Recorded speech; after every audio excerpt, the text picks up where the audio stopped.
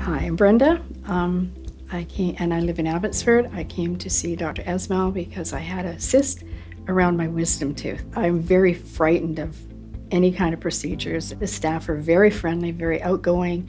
Um, they made me feel very comfortable. Dr. Esmail took the cyst out and the wisdom tooth out, and I had, and then he also put in a bone filler um, just to strengthen the gum. The surgery went really, really well.